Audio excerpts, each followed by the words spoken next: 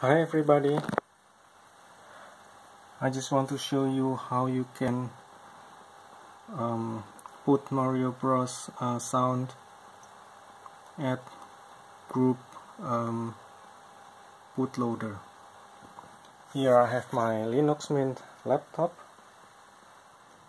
And basically what you need is just copy this line and paste it into um, Grub.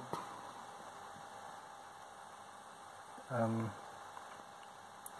default configuration file.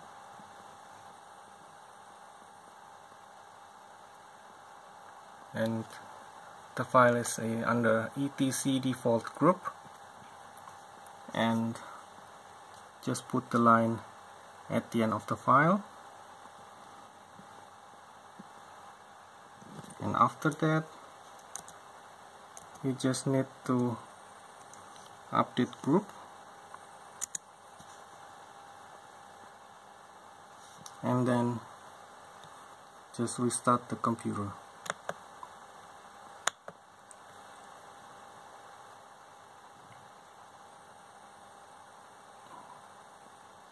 Restart.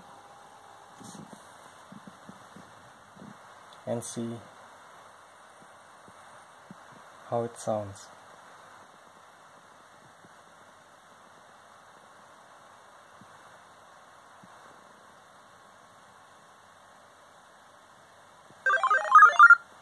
Okay, that's it, and have fun. Bye bye.